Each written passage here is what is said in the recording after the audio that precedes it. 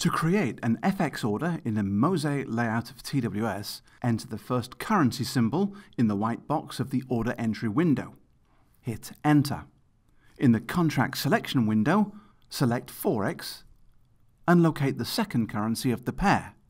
Click OK.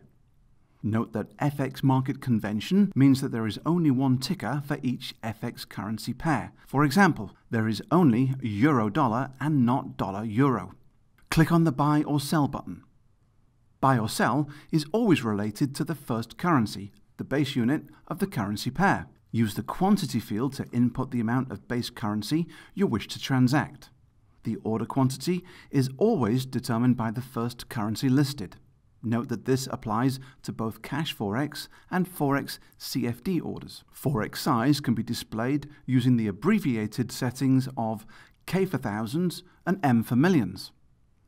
In global configuration, use display and ticker row to find Forex size display settings.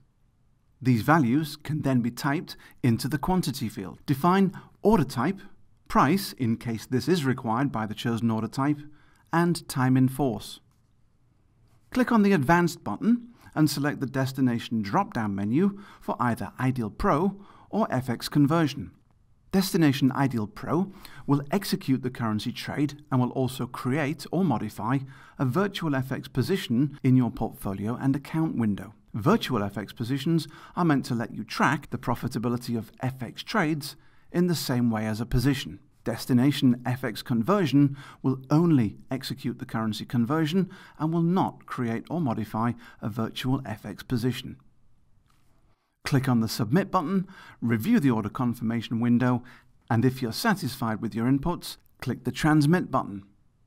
The pending order will appear in the Orders tab of the Activity window. Note the order status color. Once filled, you will see it in the Trades and Summary tab of the same activity window. Thanks for watching and remember to look out for more videos on IB's YouTube channel.